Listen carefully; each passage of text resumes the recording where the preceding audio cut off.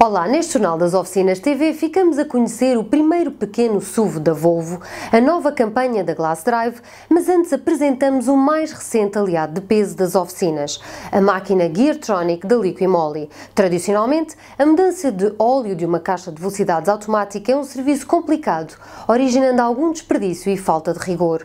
Mas o processo ficou mais seguro e rigoroso. Manuel Pena, responsável da Liqui-Moly, acredita que o mercado das caixas automáticas está em ascensão e que a Geartronic é um trunfo. Em primeiro lugar, pelo facto de ela ser uma máquina muito friendly user, ou seja, é quase impossível que criar qualquer tipo de uh, dúvida ou dano numa viatura de caixa automática ou numa caixa automática com este tipo de máquina que ela não permite.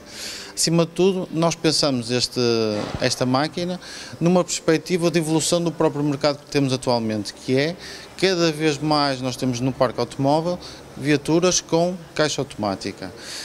Um, e nesse serviço não existe muita oferta e esta máquina, uh, para além de tudo, permite uma real manutenção da caixa automática. Esta permite não só a mudança e a lavagem com aditivos do próprio interior da caixa, Uh, e também quando nós em algumas máquinas faz este processo de empurrar o óleo antigo, o que acontece é um, gasto muito muito uh, extenso de óleo de transmissão e o óleo de transmissão é um óleo que não é barato.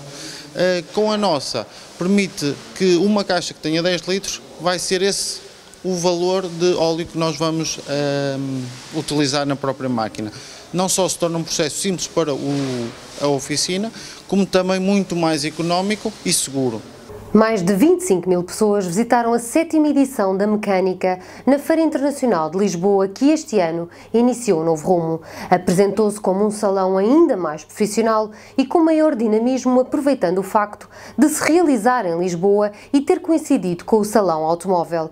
José Frazão, diretor-geral da Expo Salão, mostra-se satisfeito pelo sucesso. É um balanço muito positivo, eh, superior aos que temos feito, eh, porque o facto de ter mudado para Lisboa também foi uma mais-valia em termos de, da parte dos expositores, mas também da parte dos visitantes houve uma maior aderência. A batalha, enfim, eh, com pena nossa, não se realizar, porque também fizemos boas feiras, excelentes feiras, mas de facto Lisboa, eh, em termos eh, profissionais, ganhou, ganhou mais presença, ganhou mais dinâmica, houve mais participação, tanto ao nível dos expositores, mas também ao nível de visitantes. Os profissionais aderiram com muita frequência, que já faziam, mas que hoje foi, aumentou em larga medida o número. Por outro lado, também entendemos que o facto de estarmos perto do aeroporto foi uma mais-valia e agora vamos continuar a trabalhar para o maior desafio, para o mercado, nomeadamente internacional, que nós queremos, o Norte de África, que começa a vir aqui, vamos trabalhar nesse sentido, porque nós temos uma oferta muito alargada. A nova campanha da Glass Drive alerta os consumidores para a qualidade dos vidros. Cada vez mais, o cliente privilegia a qualidade dos materiais aplicados, valorizando a confiança no serviço prestado. Com esta nova abordagem ao consumidor, a Glass Drive pretende reforçar o seu posicionamento, alertando os automobilistas para a importância de conhecer e reconhecer as marcas de vidro automóvel pela sua influência na segurança e conforto dos passageiros.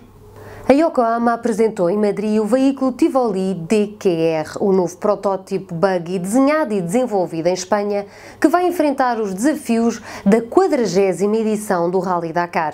O Tivoli, com motor V8 e 405 cavalos, estará equipado com o mítico pneu Yokohama Geolander MT de 37 polegadas montados em jantes de 17.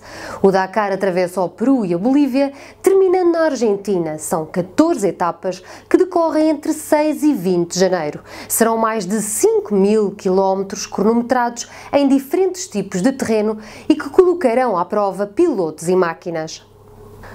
O primeiro pequeno SUV da Volvo já começou a ser produzido. O XC40 representa a entrada da marca sueca neste segmento, cuja importância no setor tem vindo a crescer. Este é o primeiro Volvo construído com base na nova plataforma Compact Modular Architecture, que vai servir de base aos futuros modelos da gama 40 e proporcionará à marca as sinergias necessárias para competir no segmento premium de automóveis de menores dimensões. A marca já recebeu mais de 13 mil encomendas para este novo modelo. A Ford criou um boné inteligente para impedir que os camionistas adormeçam ao volante. O SafeCap detecta os movimentos da cabeça do utilizador para determinar quando é que este está a adormecer. Nessa altura, emite sons, vibrações e até luzes para o acordar. O protótipo foi apresentado como forma de assinalar os 60 anos de produção de caminhões da marca no Brasil. E é com este gadget que pode salvar vidas que fecho uma boa semana.